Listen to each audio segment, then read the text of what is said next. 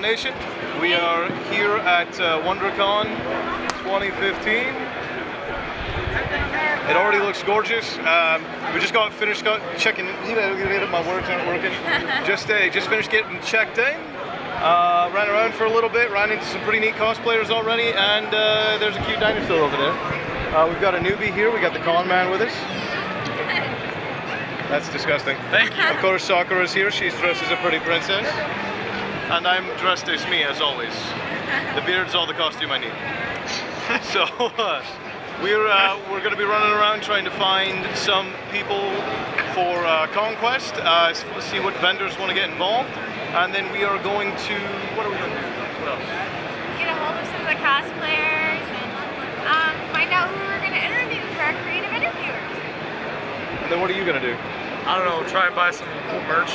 First time being a Comikaze, gotta get something. Wait till the last day You? Yeah. Yeah, you don't do it first day. Never buy buy first day. first day. Because first off, you're going to have to carry it around all day. That'd be so cool. We And can two, you might find something you really like later on. We already have the Attack on Titan shirt. Get like the 3D model kit, just walk around with it. Anyways, that's what we're up to, Nation. So we will be seeing you guys all around here.